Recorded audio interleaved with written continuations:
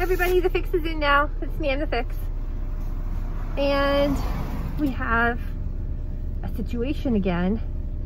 And uh, it's an easy fix. Oh my gosh, this is such an easy fix. This is a put things where they belong fix. Because um, I'm going to the store and I'm actually just in front of my house. We have this going on.